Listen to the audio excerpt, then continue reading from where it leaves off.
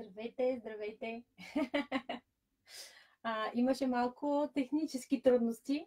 Надявам се, който успее да се включи, да ми каже. Благодаря на Теди за това, че ми каза, че а, има звук. Надявам се сега да има и звук и картина.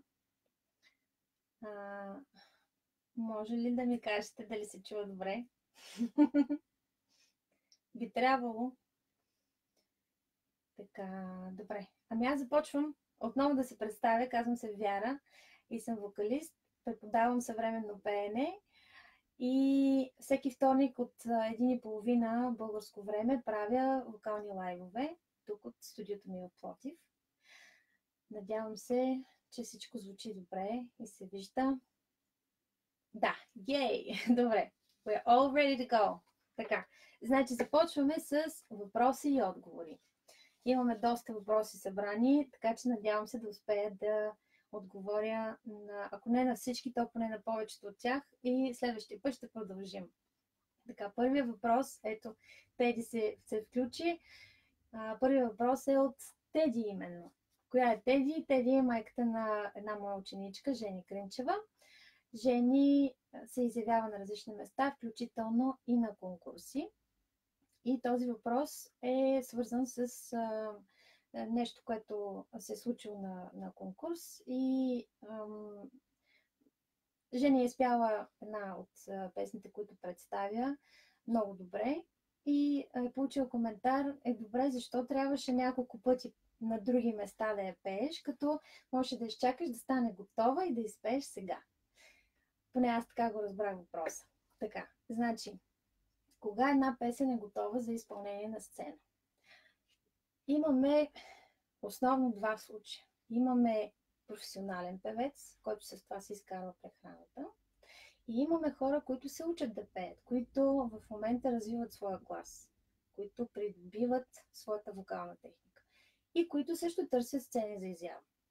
Значи, когато говорим за професионален певец, този човек ще има вече добра техника и ще има ясно изградена представа в себе си дали песента е готова. Примерно, аз решавам а, до вечера да отида да, да пея някъде и си казвам, чакай, трябва да си приготвя нали, някакъв сет ли все пак с песни, които ще изпълнявам. Я да видим сега тази песен, какво се случва с нея. А, дали е готова? Мога ли да изпълня тази вечер? Да видим. Наясно ли съм в която тонално ще изпълнявам? Да. Наясно ли съм с мелодията? м Знам ли структурата на песента? Да. С хармонията запозната ли съм? м Текста знам ли си Е, имам си там една тетрадка или някакъв iPad, ще си гледам там, ако не ще се объркам. Пък и то ще пее на английски, никой няма да разбере. Това, разбира се, от кръга на шегата. Продължаваме нататък. Това са основните неща. Отиваме нататък вече. А, всяка песен има в себе си някакви технически трудности, някакви стилови трудности. Аз освоила ли съм ги тези неща? Мога ли да се справя с тях? Да. Добре. Изградила ли съм образ? Знам ли как ще представя сценично? Мхм, даже си имам и костюм, имам си жестовете, имам си танц. Значи песента ми е готова за изпълнение. Разбира се, има случаи, в които и професионални певци представят не готови, така да ги, да ги наречем, песни. Примерно, някой е на турне, идва му музата, хрумва му някаква идея, написва песен и си казва, ето, хората плащат пари за това, а аз тази вечер имам събрана фокус група, на която мога да представя моята нова песен. И да видим сега, ще стане ли да те ще я приемат ли в този вид. Или може би трябва да направим повече като новия хит на Ариана, или повече като новия хит на Ариана Гранде. Те малко си приличат, ама нищо. И, а, т.е. човек изпробва песента като песен, изпробва, изпробва аранжимента, изпробва тоналности, а, за да види всъщност тази песен така ли ще представя, дали ще е включила следващ албум, какво ще се случва. Това е вариант, в който един професионален певец би представил не готова, да я наречем, песен на публиката. Така, когато говорим за ученици, вече тук трябва да сме наясно, че самия процес, не аз казвам ученици, то условно не става въпрос само за хора в ученическа възраст, а хора, които учат пеене, които в момента работят по изработване на своята вокална техника. Това е дълъг процес, в който трябва, освен търпение, да имаме и дисциплина. И то дисциплината трябва да има в всичките, в всичките звена на екипа, който е включен. Значи, първо, разбира се, започваме с ученика, преподавателя, родителите и не на последно място средата, в която се развива този човек. Защото, особено когато говорим за деца, е изключително от голямо значение по какъв начин ние ги насърчаваме, по какъв начин ние ги подкрепяме, защото децата така са програмирани, за добро или лошо, че те се стараят и правят всичко възможно да намерят нашето одобрение, нашето, ам, нашето да, нашето да, браво, моето момиче, моето момиче много добре се справи. И понякога това означава те да пренебрегват своята вътрешна инту, интуиция, защото си казват, еми, нали, те са, те са големи, те знаят, те, нали, те правилно ме съветват и така. А, какво се случва, ако тази дисциплина липсва? Значи, примерно, да кажем, че педагогът не е дисциплиниран. Давам пример. Идва една девойка, аз си казвам, здрасти, какво правиш, как какво става, половината урок минава в някакви раз, разкази, приказки, кой какво правил. Аз се усещам, че тя не е готова и тя съответно се хваща на тая кукичка и казва, ето сега тук има начин аз да, да, да не си проличи колко не съм подготвена. Ще си говорим, тук то времето ще мине, ще си остава парите, ще си ходя. И това е един вариант. Друг вариант. Идва девойката или младежът, почва си пее, ма както си знае, аз му пляскам, браво, ти си гениален, ти си абсолютно толкова талантлив, ма как успя да го извикаш това там горе? Леле, направо си 6. Родителите във възахлас, отива детето на конкурса, всички награди за него. В един момент детето започва да преграква. С детето започва да се губи гласа. С детето започват да се случват процеси, които са абсолютно нормални за всяко човешко същество преминава през мутация, започва пубертет.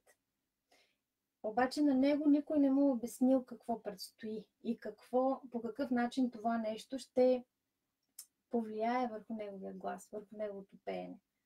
И когато човекът е вокалист и той а, а, се отъждествява с гласа си, с звука, който може да произведе и който всички толкова много а, аплодират, а, опасността да се загуби този звук е равносилна на опасността ти да, да загубиш себе си, да загубиш своята идентичност.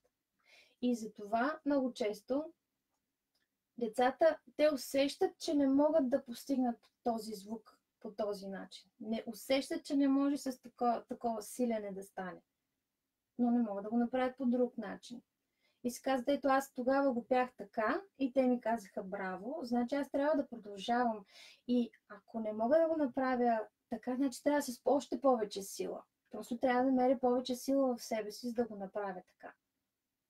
Защото големите ми пляскаха и това означава, че това е окей. Okay. Значи така трябва да се прави. А, и в един момент се, се, се започва един такъв омагиосен кръг, в който детето се започва да пее с още повече сила и още повече сила и в един хубав ден или нещо се случва с гласа му, което го кара да отиде при по-добър специалист, или то просто казва ми, знаете ли какво, може би на мен не ми е писано, може би аз не съм достатъчно талантлив. Ето, еди кой си, успява да го прави, а пък аз не мога. Значи аз просто съм се изгубил гласа. Това се е случило. По същия начин, подобен сценарий може да се развие и когато а, родителите не са дисциплинирани, т.е. дават се някакви съвети, те не се прилагат, детето си прави каквото си иска, Ако самия ученик не е дисциплиниран по същия начин, ако средата не е дисциплинирана, всички знаем какво се случва. Ако, в най-добрия случай, ако дисциплината съществува във всички звена, какво може да, да се очаква? Кога може да е готова тази песен? Значи, педагогът, за да свърши своята работа, трябва преди всичко да следва интереса на своя клиент. Ама интереса на клиента не е какво му е интересно, а какво е полезно за него, какво е от полза за развитието на гласа му, какво е съобразено с неговото ниво на развитие в момента. И за това много често с, с родители обсъждаме, примерно, коя песен да си избере, защото ще ходим на еди кой си конкурс. И идеята не е да се избира песен, за да се спечели конкурса. Идеята е да се избере песен, за да се развива техниката на този човек, който е дошъл да учи. Това е на първо място. Разбира се, няма нищо лошо песента да е такава, да е съобразена с изискванията на еди кой си конкурс, така че, както се казва, с два камъка, да, с един камък, два, два заека. А, въпросът е, че трябва да се има предвид, че тези, този ам, елемент, репертуара, при професионалните певци има един, един смисъл, а при хората, които учат, имат друг смисъл.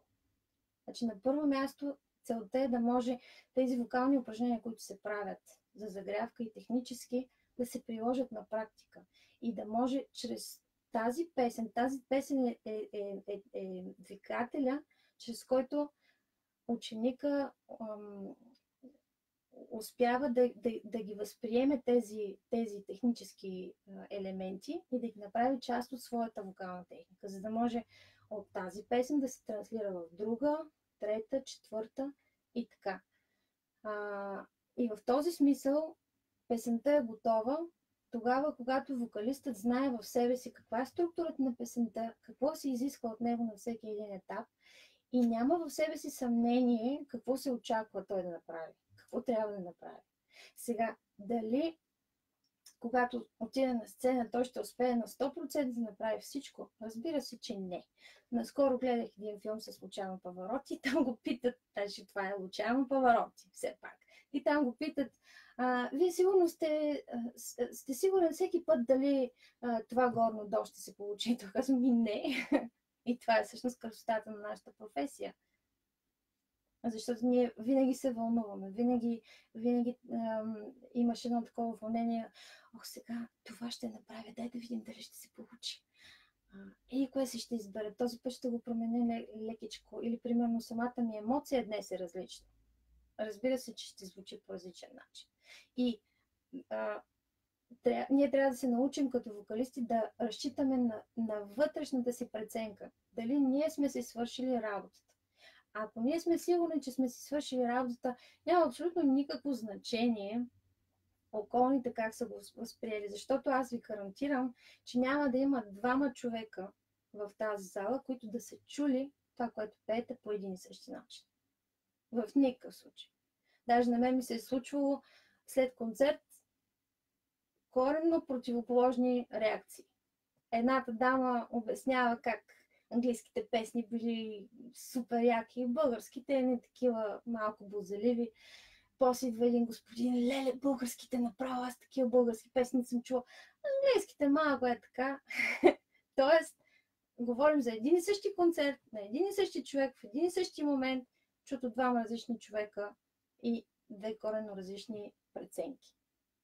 Така че това е моя отговор. Надявам се да съм ти отговорила изчерпателно. Така, продължаваме нататък. Следващия въпрос е от Генка Докузова. Тя също е майка на моя ученичка Наталия. Въпросът е да се яде ли преди концерт или да се пее на гладно. Значи, каква е ситуацията? С Наталия се отиши да, да пеят на едно място и друго детенце, което също е било там да пее, се е почувствало зле и ще да припадне, защото не било закусвало по съвет на своя вокален педагог. Та въпросът е, трябва ли да седим гладни преди да пеем? Сега, при всички случаи, пеенето на пълен стомах не е за препоръчване. Просто си представете как сте се надумкали яката. Моля те ви. Надумкали сте се.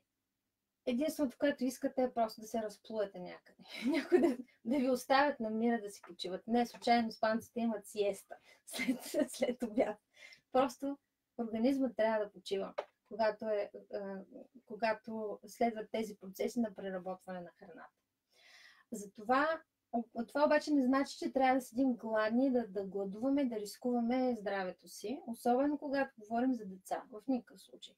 Просто, ако е възможно да се съобрази лягането, малко по-рано да се легне, когато знаем, че ще пеем рано сутрин, рано имам предвид преди, преди 12. Значи, ако, ако ще се пея в 10, трябва да се стане 7 би било добре, ако е възможно. А, значи, по-рано лягане, по-рано ставане, за да може организмът да се е събудил. Едно хубаво освежаващо душче, малко лептрилчета под душа. Да се събуди гласа. Едно хубаво билково чайче или просто топла водичка. А, след което няма никакъв проблем да се хапне банан, диня, пор, портокал, не, пъпеш, круша, някакъв такъв плод, да не е цитрусов плод. И примерно може да кажем, не знам, половин баничка. Сега да не са две банички да се натъпче това малкото коремче, все едно няма да яде после след това. Просто колкото да се залъже глада.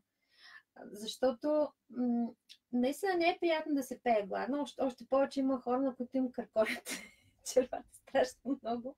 И това е доста притеснително за, за самия вокалист. Нали? Даже и съм имала случаи, ам, когато правим уроци по скайп, и ми казват, Оле, чуваш ли как ми къркорят червата? Естествено, че не. нали? но, но човек е толкова самовглъбен в тези процеси, които се случват чисто физически, че понякога му става неудобно от тези неща. И така, ам, като храни, в никакъв случай не е пържено. Никакви мекици и такива работи преди пеене. М-м, не. Газирано, шоколади, какао, по възможност да се изчака, след като се пее. Така, добре. Надявам се да съм отговорила на този въпрос. Продължаваме нататък. Аз наистина се чувствам като все едно съм в новините и чета така. Old school. Добре. Имаме анонимен въпрос. Окей ли е да сменям тоналност? Всички се хвалят, че пеят песните в оригиналните им тоналности. Така. А, не само, че е окей, ами е абсолютно задължително да се смени тоналност, ако в оригиналната не ти е удобно. Какво значи да ти е удобно? Това означава, когато пееш, да няма такива места, в които гласа пропада надолу и няма никакъв, почти никакъв звук и само излиза нещо подобно. А, същевременно и да няма е, някакви прекомерни напъвания. То, по принцип напъване не трябва да има, но да кажем, да, да го няма усещането, че все едно някой те е поставил вече главата ти удра тавана. Нали, от... Няма на къде повече да отиваш. Хубаво е, когато се репетира една песен, да се репетира, примерно, ако е възможно, половин тон по-низко, отколкото ще се пее. А, да не се прекалява с силата, с която се репетира. Ти пак си репетирай в тоналността, в която ще я изпълняваш, разбира се. Но когато я пееш, когато я подготвяш, не дей да препяваш в тази тоналност. И друго нещо, което ще те посъветвам, освен, освен за тоналността, да помислиш и за самия аранжимент. Защото много често аранжиментите, оригиналните аранжименти не са най-подходящия вариант за всеки един вокалист. Не случайно световно известните певци, когато правят кавари на, на песни на други известни певци, избират различни, различни стилове. Ам, има, има значение доколко си подготвен в стила.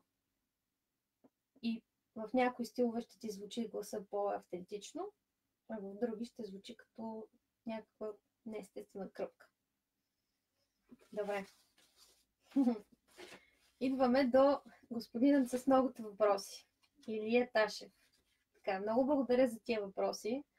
Така като гледам, може би няма да имаме ам, време да отговоря на всичките, но ще си направя, ще си отбележа и ще им отговоря след това, в, в другия лайв. Така, започвам с въпросите, защото са много. Как да изберем подходящ вокален педагог? Трябва ли да има музикално образование и да свири на музикален инструмент? Всеки с табелка вокален педагог ли е такъв? Вокален педагог или музикална школа с повече преподаватели? Така, започвам с първия подвъпрос.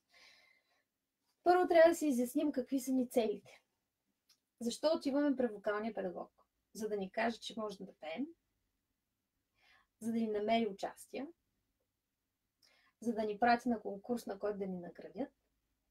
За какво ни трябва? Да работим по вокалната си техника, да можем да записваме по-добре и по-точно, по-ефективно да сме в студиото, защото солфежът ни куца, може би имаме нужда от терапия, може би искаме да ходим по конкурси или искаме да работим като вокалисти, искаме да работим като ентертейнери, като хора, които работят по собствената си музика. Т.е. искаме да пеем нашите си песни по-добре, дали се готвим за някакъв, някакво професионално прослушване или пък за конкурсен изпит в музикално училище, в някакъв, някакво висше училище с музика. Каква е целта? След това сядаме и си правим една, една оценка на състоянието. В какво състояние е нашия глас, в какво състояние е нашата вокална техника. От какво имаме нужда? Имаме нужда да, да, да пеем по-точно, имаме нужда от рехабилитация на гласа, имаме нужда някой да ни прави по-добри аранжименти, какво някой да учи с нас репертуар в някакъв конкретен стил ли искаме да се съсредоточим, или имаме нужда от продуцент и агент. Защото много често има такива родители. Аз в, в един период страшно много такива родители се свързваха с мен, които, за които обучението е доста на заден план спрямо това, което аз би трябвало да мога да, да им осигуря като изява на децата в тяхната, в тяхната представа. За тях вокалният педагог на първо място трябва да, примерно всеки месец да прави концерти или по някакъв начин да препоръчва учениците си за различни предавания и така нататък. Което аз не правя. Добре, отиваме към следващия момент. Трябва ли да има вокал, музикално образование вокалния педагог и да свири на музикален инструмент? Сега, много ви любим този въпрос. Защо? Защото аз избягвам да казвам трябва или не трябва. Понякога го казвам м- като паразитен израз. Но в своята практика съм установила, че това нещо трябва и не трябва е толкова, толкова субективно. И ще ти кажа защо. Значи, аз примерно имам музикално образование. Имам опит на вокалист и свиря на музикални инструменти. И това със сигурност за себе си, аз знам, че ми е помогнало да стана по-добър вокалист и да разбирам по-добре своите ученици, за да мога да се им от полза по-добре. Да разбирам песните и стиловете, които те искат да изпълняват, да съм в час със съвременната музика, да мога да анализирам, за да мога да им преведа. Слушам песента и им казвам, сега тук трябва да направиш еди какво си. И да ги науча, те да се учат как да анализират и как да продължат своето самообразование по-нататък в живота. Същевременно обаче, съм имала много учители, които са имали музикално образование, може ли да се засилят прекрасно на пиано конкретно, но като педагози, вокални, вокални педагози са били абсолютно нула. И това го казвам с всички, всичкия опит, който имам за себе си като педагог и всичко, което знам като педагог. А, същевременно, моята учителка по пеене от която съм научила страшно много като вокалист и като как трябва да се преподава, как трябва да се работи, както казваме, холистично в много аспекти, за да може да се обхване музикалното образование на вокалиста. а не само ла-ла-ла-ла-ла-ла да си пеем някакви песнички. Това да а, Тя няма академично музикално образование и начинът в който свири на пиано е като изтребител. И до. Пей до. Но а, тя самата ми е казвала много пъти, че счита, че специално а, умението да свири на пиано, това е нещо, което и липсва.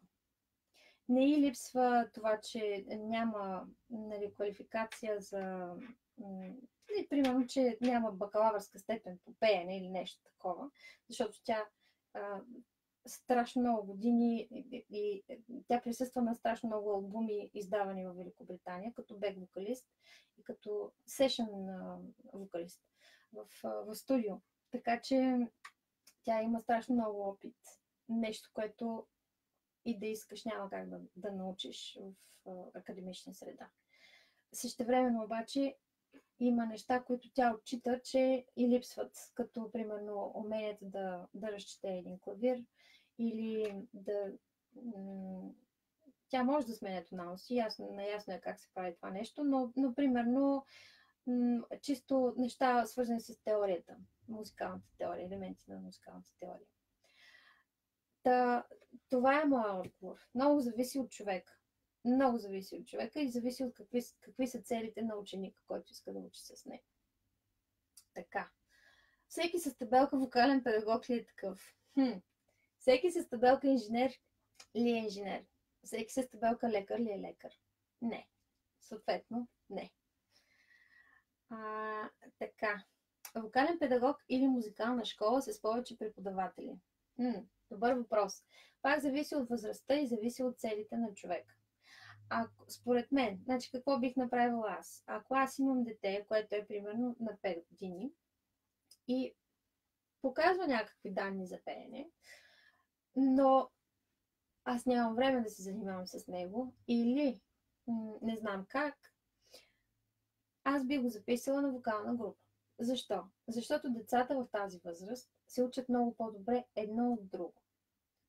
Много, по, а, много по-добри резултати се получават по отношение на възпитаване на, на музикална култура, двигателна култура, разбира се, музикален слух, развитие на музикалния слух, чувствителност към стилове, към динамика. Всички тези неща се получават много по-добре, в, когато се, се работи в група с деца, отколкото когато се работи с едно дете.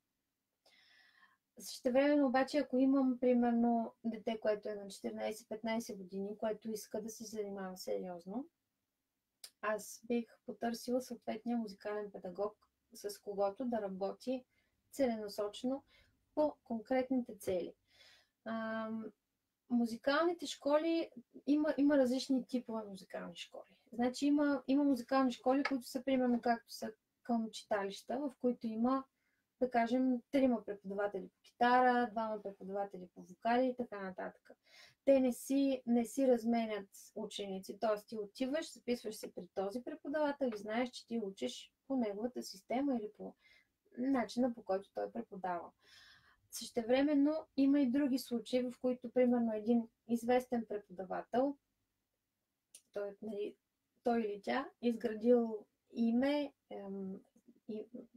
съответно опит и така нататък. Тоест вече имаме бранд, имаме вече някаква марка на преподаване. Този преподавател има прекалено много запитвания, прекалено много желаящи, за да, за да може физически да се занимава с тях индивидуално.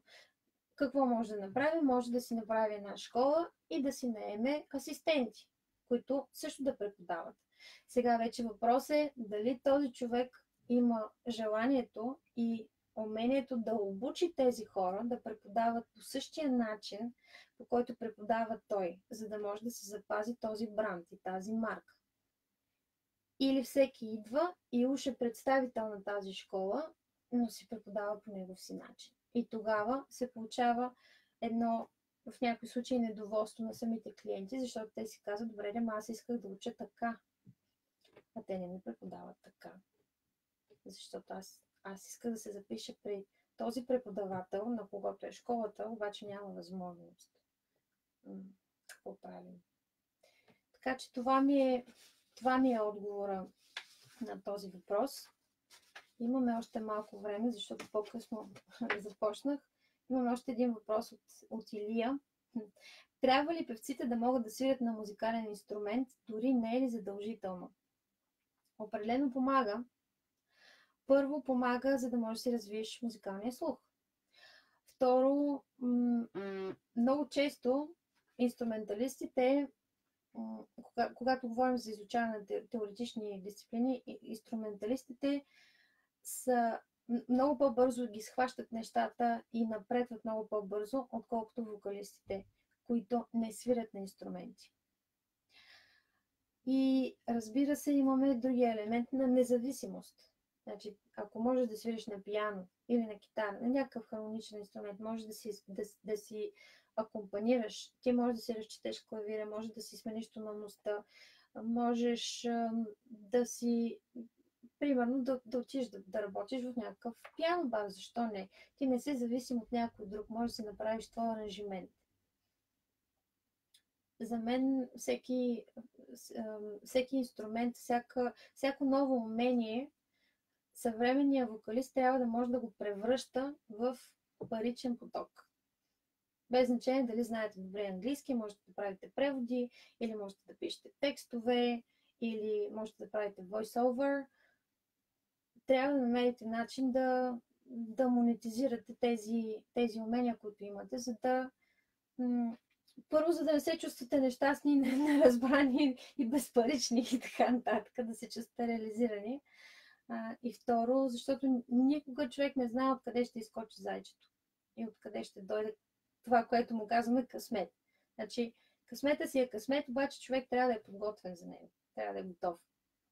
Добре, това беше всичко за днес. Много ви благодаря, че се включихте и гледахте. Ако имате някакви въпроси, пишете. Другия вторник в един и половина отново съм на линия и ще се радвам да се видим тогава.